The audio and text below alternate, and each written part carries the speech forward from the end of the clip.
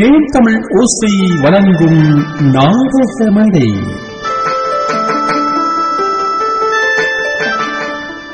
மனுச்சாட்சியின் குரல் வானொலி சித்திரம். வானொலிக்காக எழுதியவர் வெற்றி வண்ணன். தயாரிப்பு நிர்வாகம் வத்திக்கான் வானொலி நிலையம். தேர்ந்தமிழ் ஓசைக்காக தொகுத்து வழங்குபவர் உங்கள் அன்பிற்கினிய பேசாலை தாஸ்.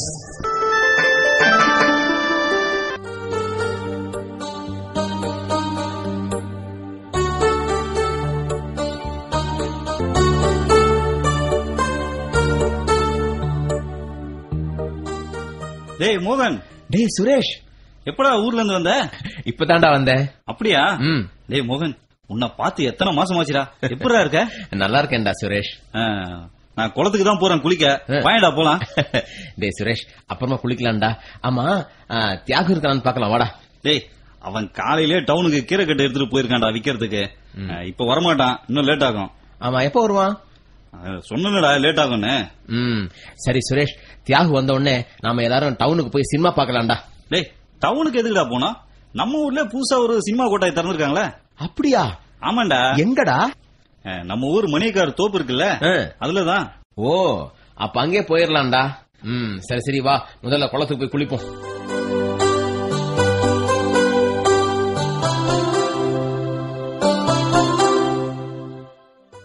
மா? என்னடா?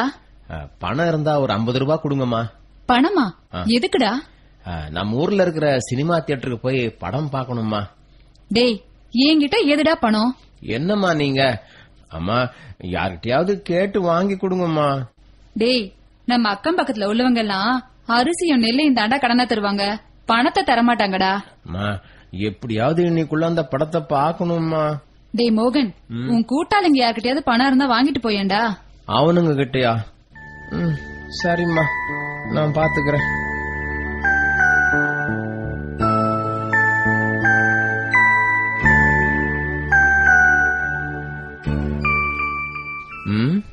என்ன பண்ணலாம்? ஆ சுரேஷ் கிட்ட போய் சினிமாவுக்கு போக பணம் இல்லைன்னு சொல்லிட வேண்டியதுதான். ஆ, அவன் ஏதாவது பணம் ரெடி பண்ணிட்டு வந்தான்னா சினிமாவுக்கு போலாம். இல்லன்னா ஆ, அட இது என்ன இது? ரோட்ல ஏதோ விழுந்து கிடக்கு. ரூபா நோட்டு மாதிரில இருக்கு. அட ஆமா. அப்பா நல்ல வேலை யாரும் பார்க்கல. அப்பாடா சினிமாவுக்கு போறதுக்கு காசு கிடைச்சிருச்சு. தம்பி. தம்பி. என்- என்ன பாட்டி? என்னோட பணம் கீழே விழுந்துருச்சு? பாத்தியாப்பா? அ, ஓ, எ- என்னது ஓ, ம- ம- பணமா? இல்லையே நான் பாக்கலையா. ஹம். இன்னைக்கு கூலி வேலை செஞ்சு வாங்கிக்கிட்டு வந்த காசுப்பா. ஓஹோ. அப்படி கஷ்டப்பட்டு சம்பாரிச்ச பணத்தை இப்படி எங்க தொலைக்கிறது? இந்த பாட்டிய பார்த்தா பாவமா இருக்கு. இந்த பணத்தை கொடுத்துடலாமா? என்ன தம்பி நீயும் பணத்தை தேடுறியா? ஆமாம் பாட்டி. தேடி பாருப்பா புண்ணியமா போகும். அந்த பணத்தை கொண்டு போய் நான் மளிகை கடையில கொடுத்தாதான் கஞ்சி காய்ச்ச அரிசி தருவான் தம்பி. டேய் மோகன் ஆ? சினிமாவுக்கு நேரம் ஆகுதுடா வாடா போலாம். டேய் இந்த பாட்டி பணத்தை தொலைச்சிட்டாங்கடா. டேய் அது தேடி எடுத்துக்கோ. நீ வாடா போலாம். தம்பி அந்த பணம் இருந்தாதான் ஐயா நான் போய் கஞ்சியாவது குடிக்க முடியும். கொஞ்சம் தேடி பாருங்கப்பா. ஆமா நீ எங்கனா போட்டுட்டு தேட வேண்டியது. உனக்காக நாங்களும் தேடிட்டு இருந்தா படம் பாதி போயிடும். டேய் வாடா மோகன். ஆ,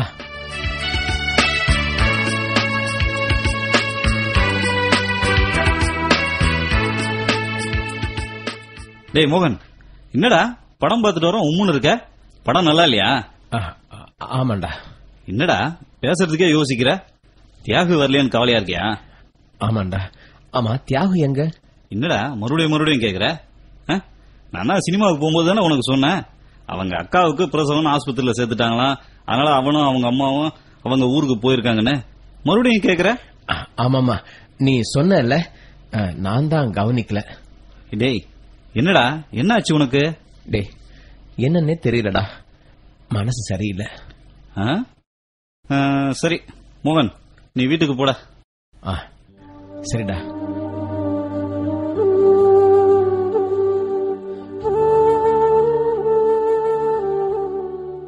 டேய் மோகன். மோகன்? என்னம்மா எதுக்கு இப்பவே என்ன எழுப்புற? எனக்கு தூக்கமா இருக்குமா ஏன்டா ராத்திரி சாப்பிடாம படுத்துக்கிட்ட? சாப்பாடு அப்படியே இருக்கு. ஆமாம்மா. பசிக்கலாமா டேய் டேய் மோகன். அட என்ன இவன்?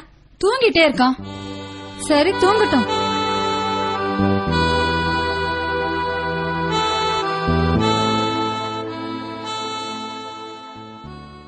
மோகன்? என்னம்மா? என்னடா? நாலு நாளா வீட்டுக்குள்ளேயே இருக்க? அந்த சுரேஷ் உன்னை வந்து தினமும் கூப்பிடுறான். நீ வெளியவே போக மாட்டேங்கிற? என்னடா ஆச்சு உனக்கு?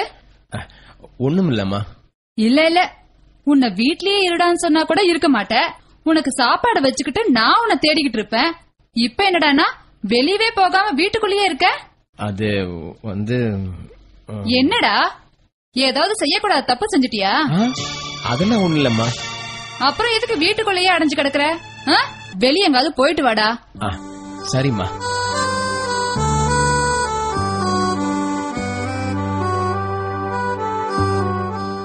டேய் மோகன். மோகன்? என்னம்மா?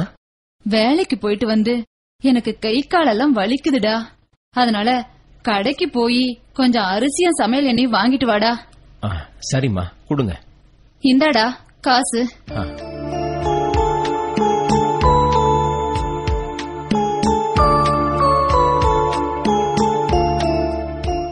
மோகன்? வாடா சுரேஷ். என்னடா எங்கடா போற? ஆ கடைக்கு. அப்படியா? சரி சரி வாடா. நான் கூட கடைக்கு தான் போறேன். சரி சரி. வா போலாம்.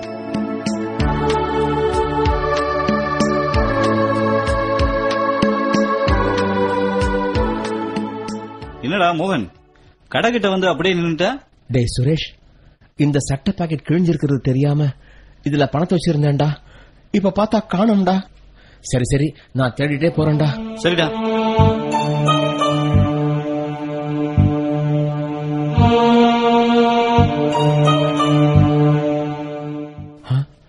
இந்த வழியில் தானே வந்தோம்? பணத்தை காணோமே. ஐயோ அம்மா வேற இப்பதான் கூலி வேலைக்கு போயிட்டு கஷ்டப்பட்டு அந்த பணத்தை வாங்கிட்டு வந்திருக்காங்க. அதையும் நான் தொலைச்சிட்டேனே. அம்மா கிட்ட சொன்னா திட்டுவாங்களே. ஆ, இப்ப என்ன பண்றது? மறுபடியும் அந்த கடை வரைக்கும் போய் தேடி பார்த்துட்டு வருவோம். ஐயோ நான் என்ன பண்ணுவேன்? பணம் கிடைச்சிடணும். கடவுளே பணம் கிடைச்சிடணும்.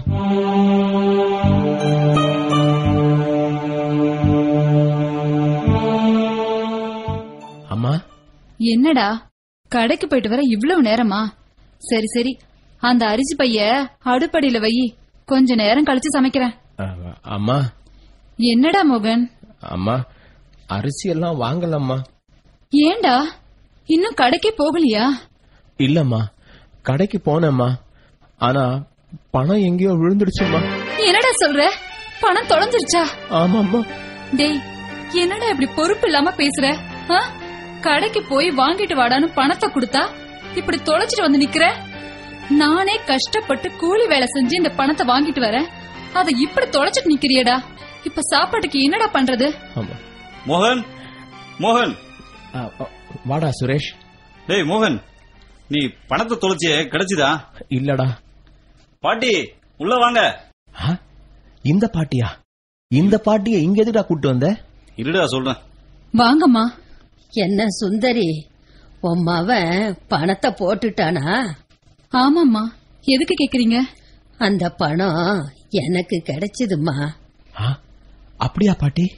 ஆமாம் தம்பி. இந்தா அந்த பணம். பாட்டி இது டேய் மோகன் பணத்தை வாங்கிக்கடா. என்னடா பாட்டியே பாக்குற? நானும் கடையில இருந்து வரும்போது பணம் கிடைக்குமான்னு கீழே பாத்துக்கிட்டே வந்தேன்டா.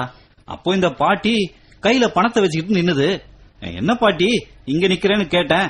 அப்பதான் இந்த பணம் கீழே கிடைச்சது தம்பின்னு சொல்லுச்சு. நான் உடனே இது உன்னோட பணம் தான் சொன்னேன்டா. அந்த பாட்டி சரி நானே வந்து குடுக்கறேன்னு கூடவே வந்துடுச்சு.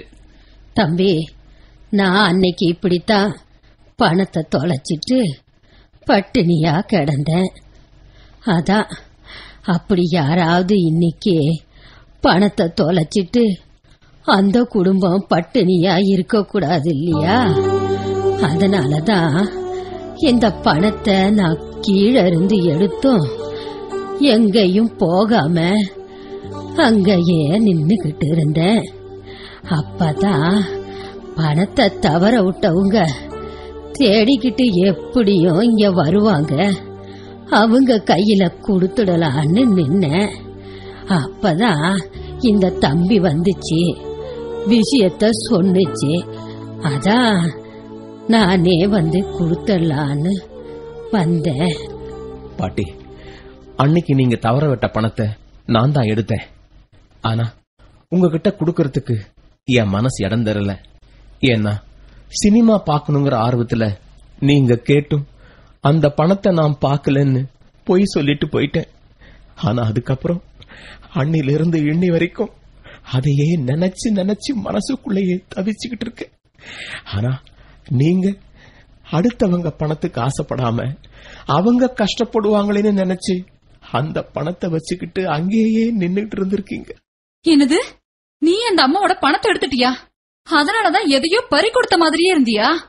ஆமாமா அன்னில இருந்து என் மனசாட்சி என்ன கொன்னுகிட்டே இருக்குமா? பாட்டி இந்தாங்க. அன்னைக்கு நான் எடுத்த பணத்துக்கு பதிலா இந்த பணத்தை நீங்களே வச்சுக்கோங்க. இந்தாங்க. தம்பி நீ தப்பு பண்ணினது பெருசு இல்ல. ஆனா உனக்கு மனசாட்சி உறுத்துச்சுன்னு சொன்ன பாரு. அந்த மனசாட்சியோட குரலுக்கு மதிப்பு கொடுக்கறவன் தான்ப்பா மனுஷன். அதைத்தான் நீ செஞ்சிருக்க. கவலைப்படாத. அப்ப நான் போயிட்டு வரேன்ப்பா.